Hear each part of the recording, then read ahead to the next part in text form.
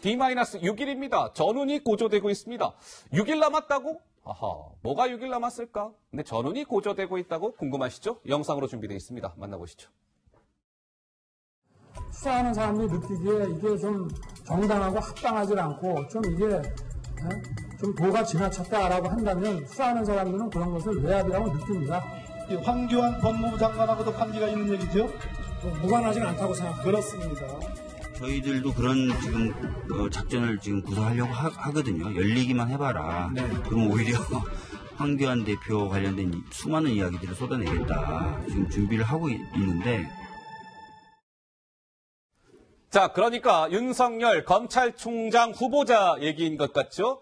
자, 김민지 기자, 이제 청문회가 6일 앞으로 다가온 모양인데, 하, 뭐 한국당과 민주당 신경전이 날로 고조되고 있어요. 그렇습니다. 청문회를 앞두고 뭐 각종 증인 채택이나 청문회 관련 논의를 어제 법사위를 열어서 여야 국회의원들이 했는데요. 네. 이 과정에서 증인 채택 관련해서 좀 공방이 뜨거웠습니다. 한국당은 지금 윤석열 후보자에 대해서 여러 가지 의혹을 가지고 있는데 그 중에서도 특히 윤석열 의원의 배우자 혹은 또 처가나 장모의 문제 등을 어, 집중 좀 따져볼 계획인데요. 그렇기 때문에 증인으로 윤석열 후보자의 가족을 부르자 이렇게 주장하고 있고요.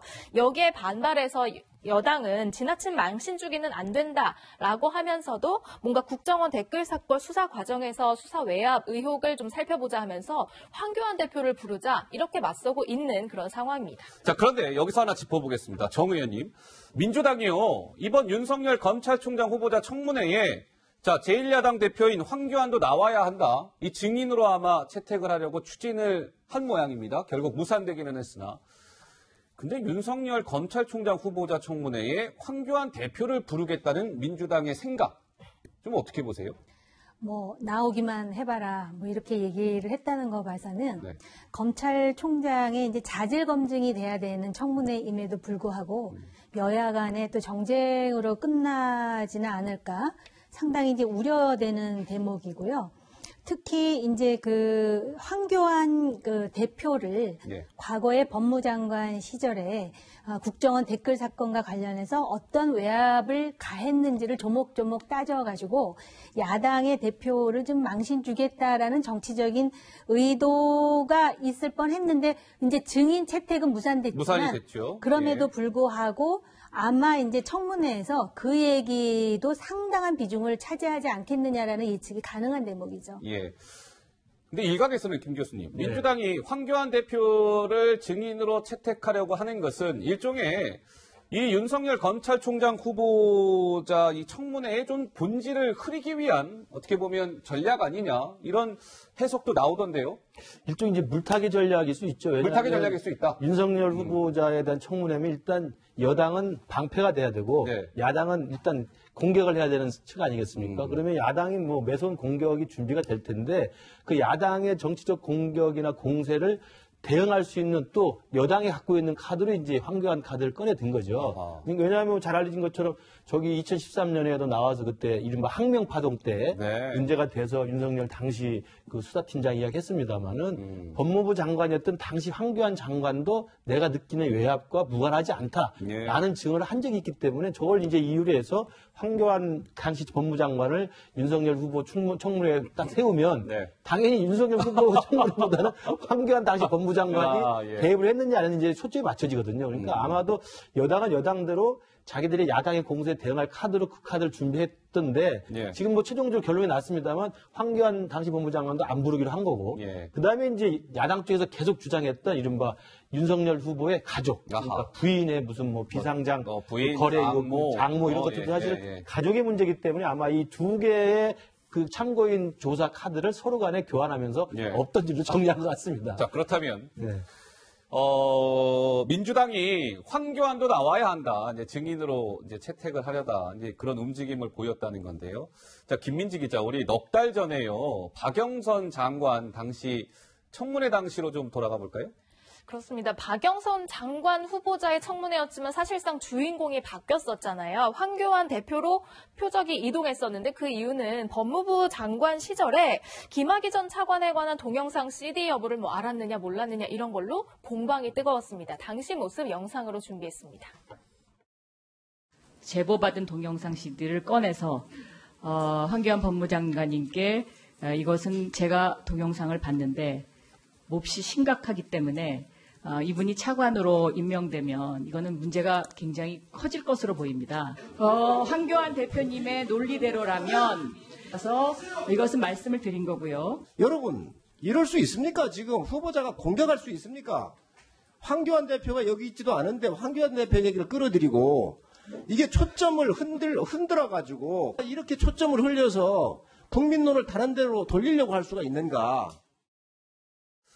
자, 그런데 최근에 좀 돌이켜보니까요. 박영선 중소벤처기업부 장관 청문회 당시에는 이제 뭐 지금 보신 바와 같이 황교안 지금 한국당 대표가 법무부 장관 시절에 김학의 그 별장 그 영상 있잖아요. CD 인지 여부 공방전이 펼쳐졌고 최근에 김현준 국세청장 후보자 청문회 때도 황교안 대표의 최근 그의 위- 외국인 임금 차별 발언 있잖아요.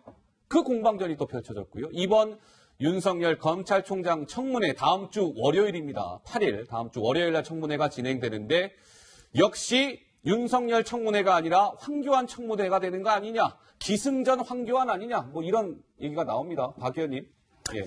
아무래도 지금 뭐 황교안 대표가 자유한국당의 얼굴이기 때문에 뭐 정치적으로 공격을 받는 거고요. 근데 청문회 때 저렇게 여당은 방어하려고 그러고 네. 야당은 공격하려는 모습이 비단 뭐 이 정부에서만 있었던 것은 아닙니다. 음. 과거에도 그랬고 저는 조금 다른 논점을 얘기를 해보면 아하, 예. 이게 인사청문회의 그 본래의 취지나 목표가 여전히 유효한가에 대해서 의문이 많이 있어요. 음. 이게 공직 후보자의 자질과 능력을 검증하는 자리인데 자질 능력은 뒤로 하고 개인의 신상 털기에 치중한다든지 네. 아니면 여야가 이렇게 정치 공방을 벌인다든지 하면서 본래의 목적인 자질 검증은 어떻게 보면 한참 그 이 벗어나서 뒷전에 가 있는 것 같아요. 그래서 청문회 제도의 개선이 좀 불가피하다. 네. 이런 의견들이 나오고 있고 앞으로도 이 정부 남은 기간 동안에 여러 차례의 이 공직 후보자에 대한 인사청문회가 있을 텐데 어, 야당 입장에서는 뭐 그 후보자에 대한 자질 능력 검증도 있지만 어찌됐든 흠집 내기에 주력을 할 거고 네네. 여당은 그거를 방어하려다 보니까는 일종의 이제 정치적 공방의 장으로 음. 그걸 변질시켜서 방어하려고 들 거고 예. 이 반복인 것 같습니다. 반복인 그래서. 음. 저는 청문회 본래 취지에 맞도록 그 하는 게 우선은 중요하다고 생각하고 예. 어, 긴 틀에서는 큰 틀에서는 청문회 제도를 이제는 좀 손봐야 되지 않을까 예. 그런 생각입니다. 아니 알겠습니다. 근데 그거에 더해서요. 지금 청문 보고서와 관련해 가지고 국회에서 이렇게 청문회를 하더라도 청문 보고서가 채택되지 않는 경우에도 대통령이 임명한 사례가 그만이죠. 15개 정도 네. 되는 것으로 제가 알고 있는데요.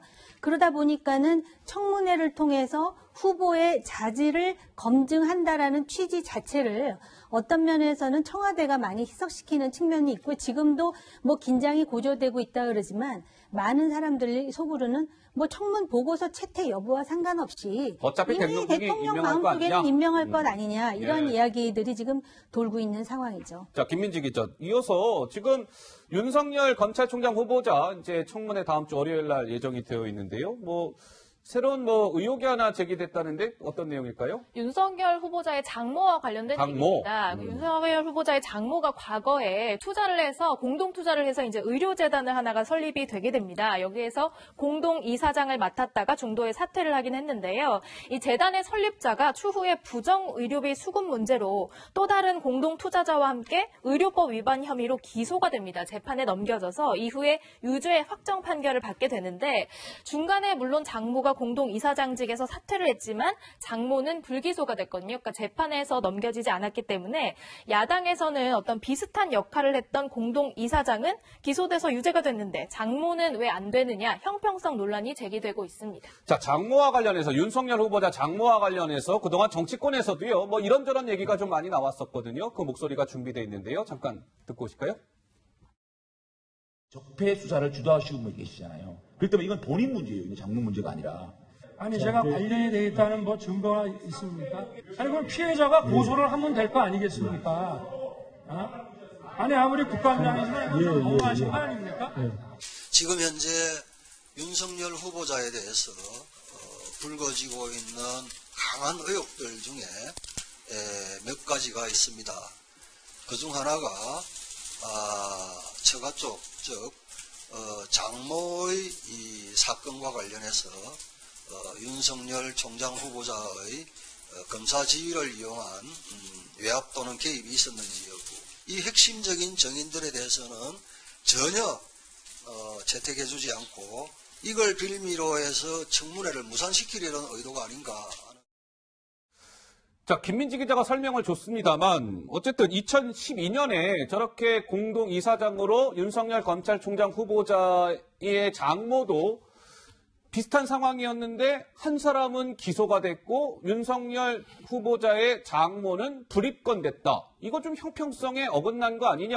이게 윤석열 후보자가 있었기 때문에 가능한 일 아니었겠느냐? 뭐 이런 의혹인 것 같은데요. 좀 언뜻 보기에는 좀 이상해 보이긴 합니다만 어떻습니까? 우선 이제 야당 측에서 의혹을 제기하는 것으로는 예. 똑같은 의료법 위반. 음. 사기, 사기 사건인데 물론 이제 최 씨가 이제 윤석열 그 후보의 장모입니다만 그 장모라는 분하고 또 다른 구 씨라는 분이 같이 공동 투자를 해서 공동 이사장으로 등재를 해놓은 상태인데 네. 주범은 따로 있었습니다. 음. 주모 씨라는 부부가 따로 있었는데 그 주범에 속아서 일단은 이 영리법인을 만들어 놓고 사실은 사기 행각을 벌인 걸로 이제 결론이 나서 주범은 유죄 판결을 받았고 예. 공동 이사장으로 등재해 놓은 분 중에 이제 저 구 씨는 사실 기소가 돼서 집행유예 처분을 받았어요. 아하. 근데 이제 같이 이름이 올라가 있는 장모 그분은 이제 입건이 안 됐기 때문에 예. 야당에서 의혹을 제기하는 건데 어. 근데 이제 저 부분에서 일단 의심은 가긴 갑니다. 정황적으로. 예. 근데 일단 제 생각이 조금 또 다른 게 2013년, 14년 거- 어간에 지금 생긴 일이에요. 예. 그러면 그때 사실은 윤석열 총장이 그렇게 센 사람은 아니었던 거거든요. 아, 그렇습니까? 지난번에 아까 나왔던